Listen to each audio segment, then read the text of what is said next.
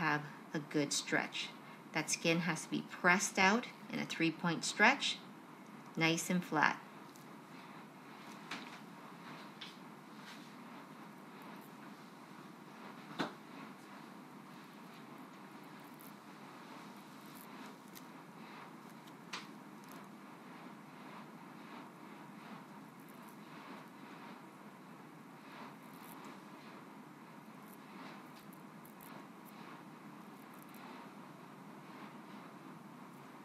So you'll notice when I'm putting a stroke in, I'm going nice and slow.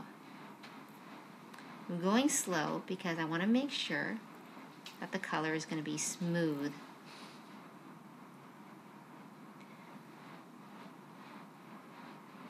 I don't want to go fast because if I go fast, there's going to be skips. So when you're working, think about your ice skate being upright, your stretch, and going nice and slow. Don't rush through this.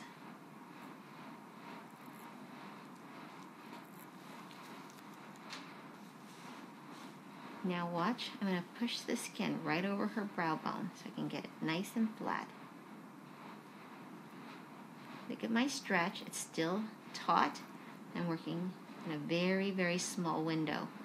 I'm isolating this piece of skin so I can put a perfect stroke in there.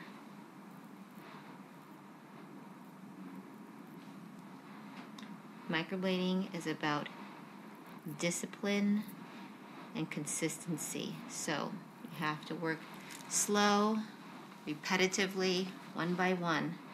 Okay, looking good. I'm going to clean it.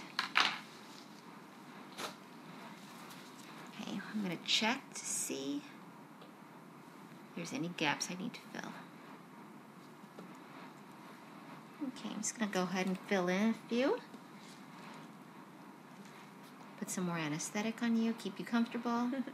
okay, how you doing so far? Pretty good. Okay.